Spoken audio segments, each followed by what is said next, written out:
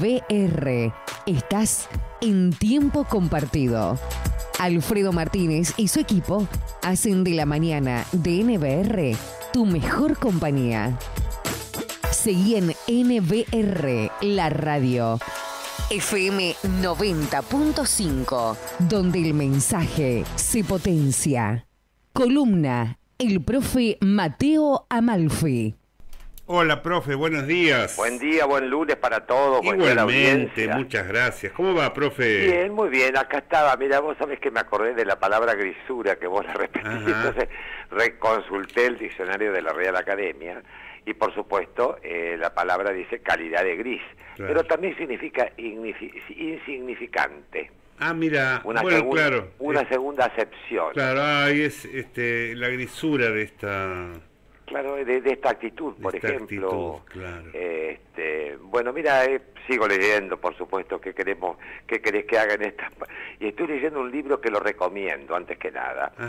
Una historia general de España de Pérez Reverte, del año 19. Mira, me he reído tanto porque este, leyendo ese libro, porque además de contar la historia de España, eh, lo hacen una, de una forma coloquial y por ahí se mandan unas palabrotas y este, eh, unas expresiones. Muchas veces tengo que consultar el diccionario porque tiene una, un nivel de lengua eh, muy español, ¿no? Y me interesa, me interesa muchísimo. Qué lindo, como una experiencia diferente. Una experiencia diferente, se llama Una historia general de España. Eh, un libro corto y va recorriendo, por supuesto, desde la tierra de los conejos, así es eh, el, origen de la, o el significado inicial de la palabra España, Hispangia. Entonces se llama Tierra de Conejos. Bueno, eh, hoy vamos a leer un, un, autor que no es muy, muy conocido, este, es un escritor de origen italiano, pero vino a la Argentina, se radicó aquí, se llama Antonio Dalmaceto.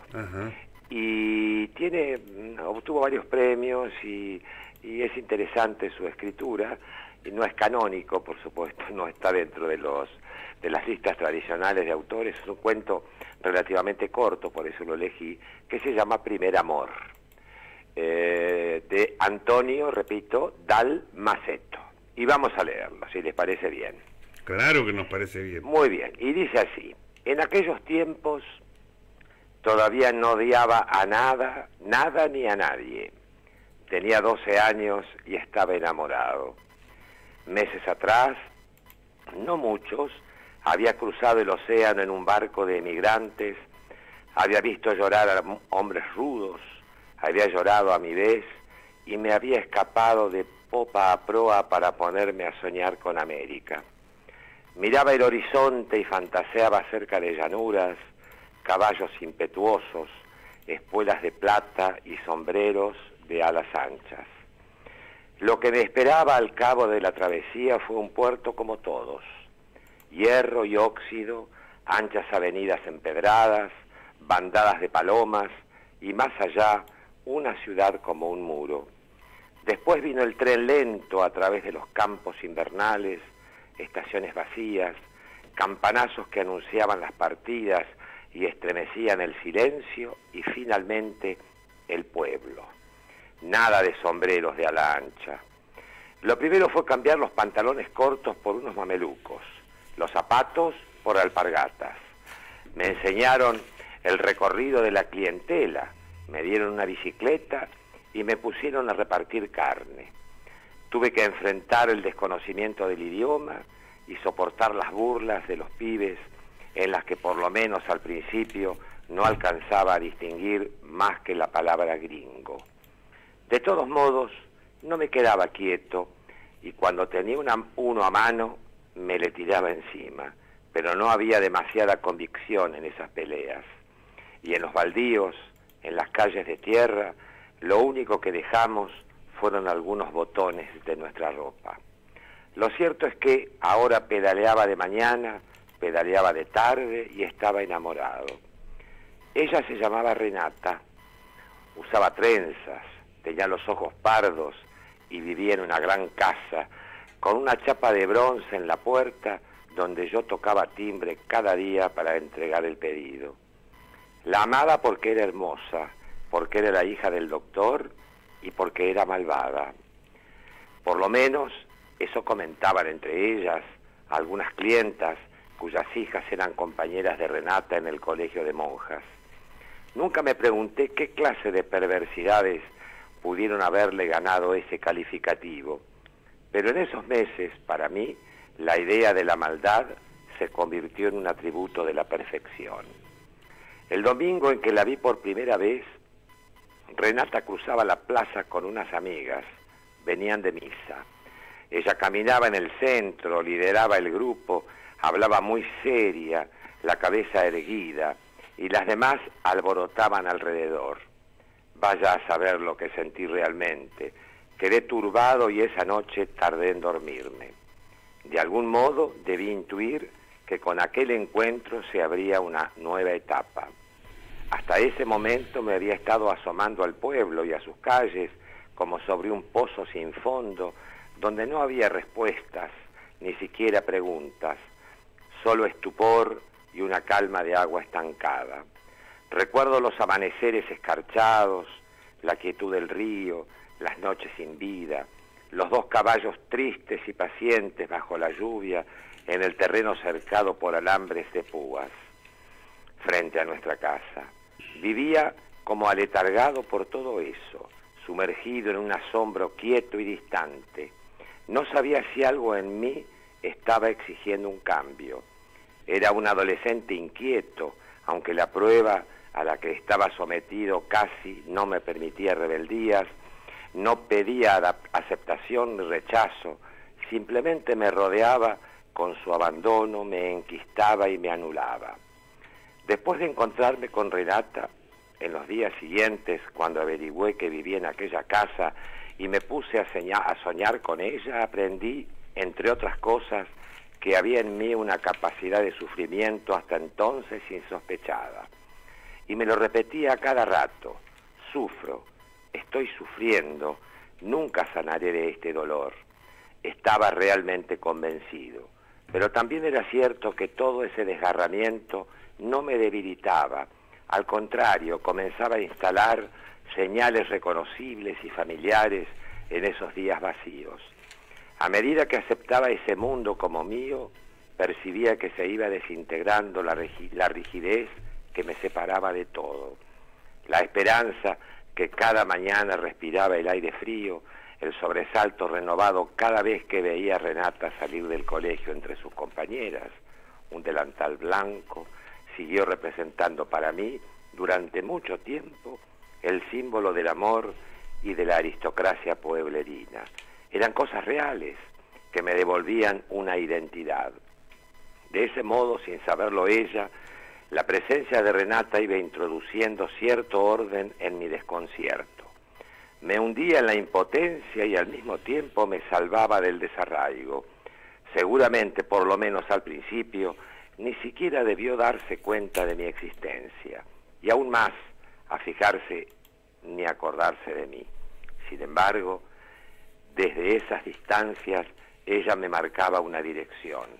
Yo me sometía, sufría y me sentía vivo. Y así aquellas calles se llenaron de actividad, de cálculos, de horarios, de estrategias. Siempre estaba yéndome o llegando, partía en mi bicicleta con cualquier excusa, me ofrecía para todos los mandados. Pasaba por su casa, por la de alguna amiga, por la iglesia, por el club, por cada sitio donde suponía que podía estar. Corría permanentemente. En realidad era la dueña del movimiento. Se desplazaba y yo respondía girando a su alrededor a una cuadra de distancia, a cinco, a diez, como si estuviese atado con un hilo, ensayando vastos rodeos, encarando finalmente por una calle donde ella venía avanzando para cruzarla de frente y pasar y pasar un par de metros cerca de ella, peleando fuerte, la mayoría de las veces sin atreverme siquiera a mirarla. Llevaba en el bolsillo una libreta en la que anotaba, martes 17, la vi, miércoles 18, la vi, jueves 19, la vi dos veces, viernes 20, la vi, me parece que me miró. Una mañana toqué timbre y salió a atenderme. Había delirado con esa ocasión, pero no supe qué hacer y todos mis planes se diluyeron. Me quedé mirándola, inmovilizado, con mis mamelucos color ladrillo y mis alpargatas deshilachadas. Traigo la carne, murmuré con un tono y una torpeza que me hicieron sentir avergonzado. No se dignó a tomar el paquete. Se hizo a un lado y me enseñó una y me señaló una puerta. Déjalo ahí, sobre la mesa. Obedecí. Cuando ya me iba, oí que decía, espera. Me detuve. ¿Por qué siempre me andas mirando? preguntó. Sentí que me temblaban las rodillas y aparté la vista. Me dijo que no habría otra oportunidad como esa y me esforcé por construir una respuesta en un castellano decente, aunque cuando la tuve lista ya era tarde. Vení, dijo Renata. La seguí. Recorrimos el pasillo y salimos por la puerta del fondo, al jardín que tantas veces había vislumbrado desde la calle. Aquello era como estar en un mundo prohibido. Renata me guió entre, un, entre una doble hilera de naranjos hasta la pared que separaba el terreno de la casa vecina. ¿Sabéis qué es? preguntó señalando con el dedo. Un rosal, contesté. Eso es lo que parece, dijo. Se mantuvo en silencio, pensativa, durante unos minutos, y advertí que era más alta que yo. Después se acercó más al rosal y me contó una historia. Mi bisabuela se llamaba Renata, igual que yo. Mi bisabuelo viajaba y la dejaba mucho tiempo sola. Era una mujer bellísima. Se enamoró de un sobrino, 15 años menor que ella, pero él la rechazó. Entonces lo mató y lo enterró acá, junto al muro. A la semana notó que en ese lugar había nacido un rosal. Tomó una tijera y lo cortó. El rosal volvió a crecer, lo cortó, y así muchas veces, hasta que un día, mientras trataba de arrancarlo, se pinchó un dedo con una espina y quedó embarazada. Cuando dio a luz, vio que el chico era el sobrino al que había asesinado. Pensó matarlo otra vez, pero finalmente decidió criarlo. El chico no paraba nunca de mamar, jamás estaba satisfecho. Acabó con su leche y comenzó a chuparle la sangre. Jamás estaba satisfecho acabó con su leche y comenzó a chuparle la sangre nuevamente. Mi abuela se fue debilitando y al tiempo murió. Mientras hablaba, Renata no había dejado de mirarme. Cayó y oí el chillido de los pájaros. Dame la mano, dijo ella. Estiré el brazo, me arrastró suavemente, acercó mi mano al rosal para que me pinchara con una espina. Soporté sin chistar, sin moverme, Retuvo mi dedo para ver brotar la sangre. Entonces busqué en sus ojos el placer perverso del que había oído hablar. Lo que vi fue gravedad y me pareció un velo de tristeza. Ahora, sentenció, vas a quedar embarazado como mi, como mi bisabuela. Me soltó. Un golpe de viento trajo el olor de la primavera próxima. Sentí que ese jardín no se encontraba en el pueblo, sino en otra parte, lejos, y que tal vez nunca tuviese que marcharme. Por un momento pude pensar que entre Renata y yo no había diferencias, que éramos iguales y lo seguiríamos siendo mientras permaneciésemos ahí. Ella volvió a hablar. Andate, dijo. No había prepotencia en su voz, ni siquiera era una orden, sino la manifestación simple y clara de algo que debía ser hecho. Crucé el jardín, salí a la vereda y caminé hasta doblar la esquina. Apoyé la bicicleta contra un árbol, saqué mi libreta, la abrí y aplasté la gota de sangre sobre una hoja en blanco. Volví a guardarla en el bolsillo de la camisa contra el corazón. Después me llevé el dedo a los labios y lo mantuve ahí. Monté y pedaleé calle abajo hacia el horizonte quieto y abierto que se divisaba más allá de las casas.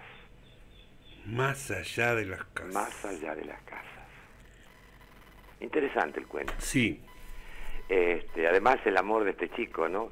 Y sobre todo este, un poco recrea esa desorientación y desarraigo del emigrante, el primer amor, eh, las sabidurías de un pueblo, y me hizo acordar a Navarro, ¿no? Aquel Navarro desde allá lejos y hace tiempo, con sus calles de tierra, con sus jardines, sus en el jardín siempre había una planta de limón o de naranja, entonces me, me, me acordé de este cuento y por eso quise compartirlo. Está muy bueno. En la grisura de este lunes 9 de Ah, agosto. me encantó.